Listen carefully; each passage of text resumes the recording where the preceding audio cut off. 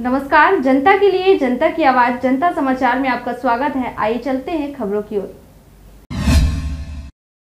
LPG cylinder सौ रुपए तक हो सकता है महँगा। सऊदी अरब में गैस की दर में इस महीने 60 फ़ीसदी की उछाल। घरेलू एलपीजी सिलेंडर के दाम अगले हफ़्ते एक नवंबर को रिवाइज होंगे।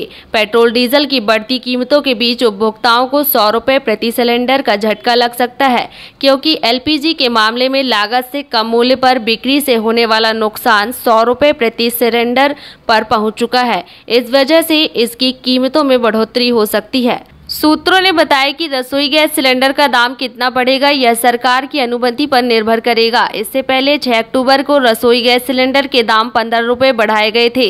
जुलाई में चौदह दशमलव दो किलोग्राम के रसोई गैस सिलेंडर का दाम नब्बे रुपए बढ़ चुका है।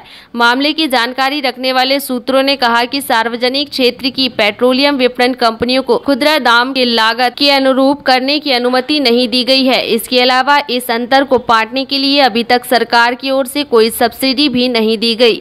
उन्होंने कहा कि अंतर्राष्ट्रीय स्तर पर कीमतों में बढ़ोतरी के बीच एलपीजी की बिक्री पर नुकसान सौ रुपए प्रति सिलेंडर पर पहुँच गया है, जहाँ सऊदी अरब में एलपीजी की दर इस महीने 60 प्रतिशत के उछाल के साथ 800 डॉलर प्रति टन हो गई है।